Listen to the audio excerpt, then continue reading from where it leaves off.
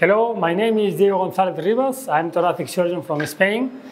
Uh, I'm here with my foundation uh, to help uh, the development of the minimal invasive thoracic surgery in Tanzania. Today we have performed the first two cases, the first cases in, in history ever done by minimal invasive in Tanzania. We did a big mediastinal tumor in a six-year-old girl very difficult case. And then we did the second case, a lobectomy in a patient with aspergilloma. We did the right upper lobectomy by using a three centimeter incision. This technique is called uniportal VATS.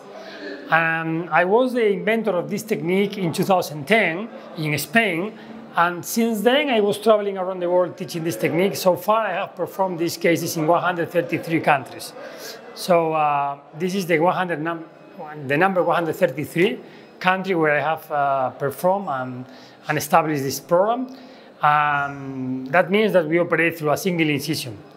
Recently, two years ago, we, are, we were also pioneers in the world uh, with Uniportal, but using the robot. And we are now developing a new robot, a very modern robot, Uniportal, that will be available next year.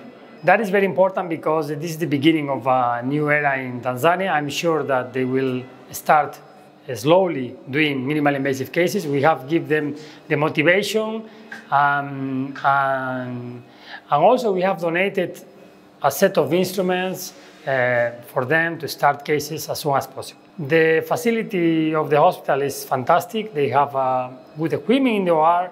They have a good team, very hard workers, anesthetists, nurses, uh, also the surgeons. So I think it's very good beginning in this country for the establishment of a minimal invasive program.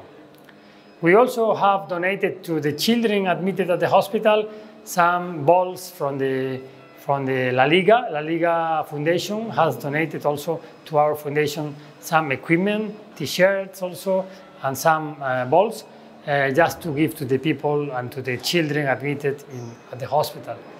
So we are very grateful for the treatment we have received. We are very pleasant to be here, and I hope that we will come back again in the future to continue this training.